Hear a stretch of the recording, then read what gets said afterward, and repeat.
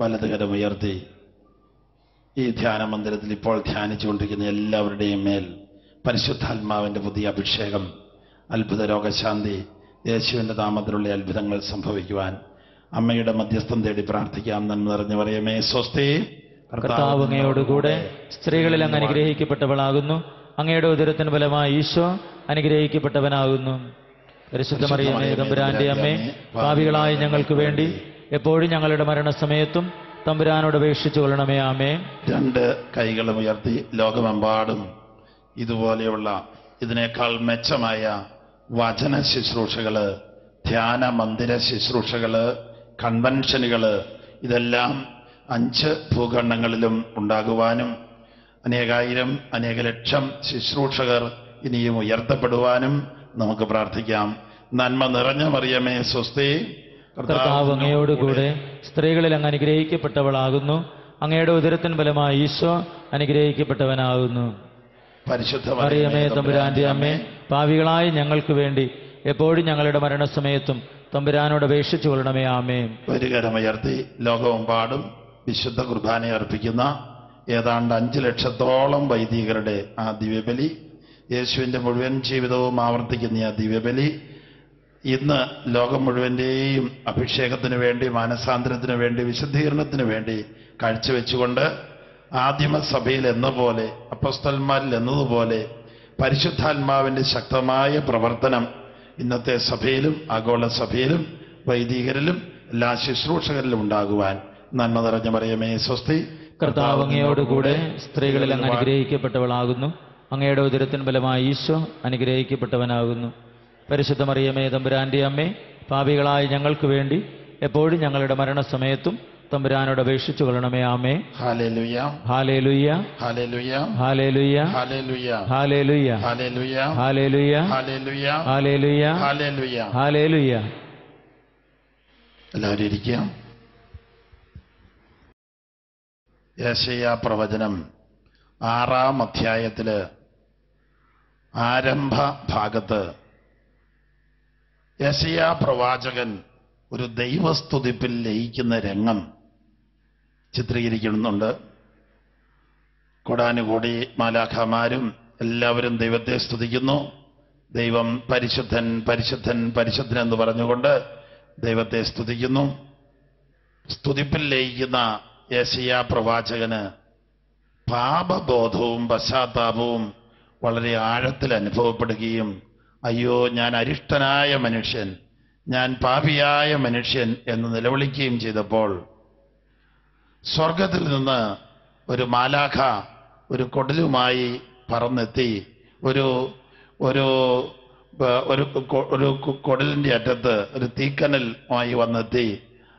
ഏശിയായുടെ അധരത്തെ തൊട്ടുവെന്നും നിന്റെ പാപങ്ങൾ ക്ഷമിക്കപ്പെട്ടിരിക്കുന്നു എന്ന് പ്രഖ്യാപിക്കുന്നതായിട്ട് നാം വായിക്കുന്നുണ്ട്. ഇത്രയായി കഴിഞ്ഞപ്പോ സ്വർഗത്തിൽ നിന്നൊരു സ്വരം കേട്ടു. ഞാൻ ആരെ അയക്കും? ഉടനെ തന്നെ യേശയ്യ ഇങ്ങനെ മറുപടി പറഞ്ഞു അത്രേ ഇതാ ഞാൻ എന്നെ അയച്ചാലും. ഇത് യേശയ്യായുടെ മറുപടിയായിട്ടും ദൈവപുത്രനായ രണ്ടാം ദൈവപുത്രൻ പിതാവിനോട് പറയുന്ന മറുപടിയായിട്ടും വ്യാഖ്യാനിക്കുന്നുണ്ട്. ഇതാ ഞാൻ എന്നെ അയച്ചാലും.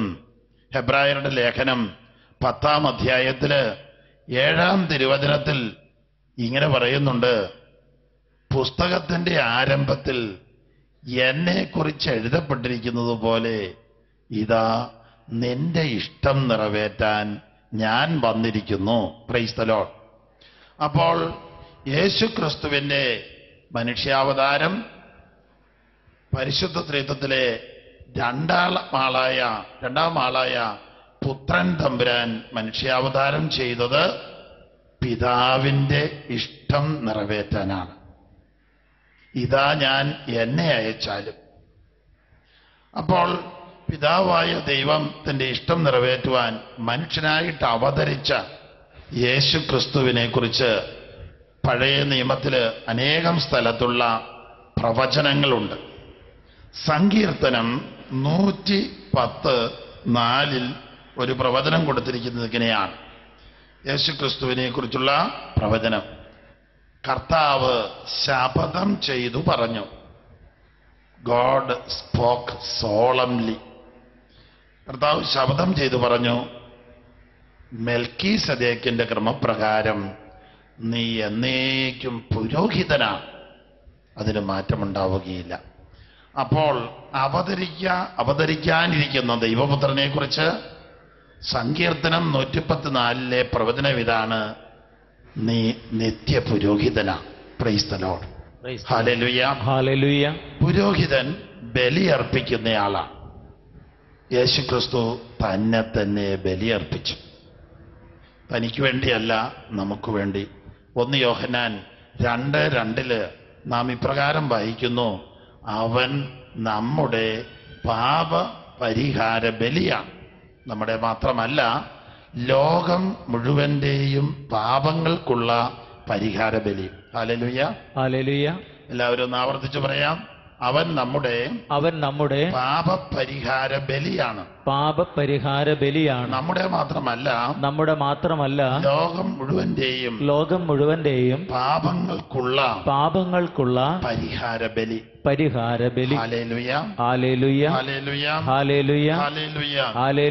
നമ്മൾ കേട്ടിട്ടുണ്ട് താലിബാൻ അൽ ഖൈഡ ഭീകരപ്രവർത്തകരെ കുറിച്ചൊക്കെ അവിടെ വലിയ സംഘങ്ങളുണ്ട്. പക്ഷേ പലപ്പോഴും നമ്മൾ അവർക്ക് വേണ്ടി മനഃപൂർവം പ്രാർത്ഥിക്കുന്നുണ്ടോ? അവർക്കും പരിശുദ്ധാത്മാവ് ഉണ്ടായിരുന്നെങ്കിൽ അവർ ഭീകരപ്രവർത്തനത്തിലേക്ക് പോവുകയില്ല. പരിശുദ്ധാത്മാവ് നിറഞ്ഞാൽ അല്ലെങ്കിൽ പരിശുദ്ധാത്മാവിനെ കിട്ടിയാൽ അവരതിൽ നിന്ന് പിൻവാങ്ങും. അത് രാഷ്ട്രീയ തീവ്രവാദികളും മത തീവ്രവാദികളും ലോകമെമ്പാടുമുള്ള തീവ്രവാദികൾ പരിശുദ്ധാത്മാവിനെ അവർക്ക് ലഭിച്ചിരുന്നെങ്കിൽ ദൈവവചനം അവർക്ക് ലഭിച്ചിരുന്നെങ്കിൽ ദൈവസ്നേഹം അവരിൽ നിറഞ്ഞിരുന്നെങ്കിൽ അവർ ഭീകര പ്രവർത്തനത്തിന് പോവുകയില്ല. അത് സാധിക്കുകയില്ല. പാപം ചെയ്യുവാൻ അവർക്ക് സാധിക്കുകയില്ലായിരുന്നു.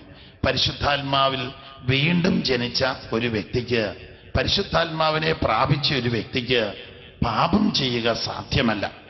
അപ്പോൾ ഇന്ന് ലോകത്തിൽ വർദ്ധമാനമായി കൊണ്ടിരിക്കുന്ന കൊലപാതകം ഭീകരപ്രവർത്തനം കൊള്ള അക്രമം ചെയ്യൽ ബലാത്സംഗം വേശ്യാവൃത്തി ഇവരുടെ എല്ലാം പിന്നിൽ അടിസ്ഥാനപരമായി അവരിലുള്ള ഒരു ശൂന്യത ദൈവസ്നേഹം നിറഞ്ഞിട്ടില്ല.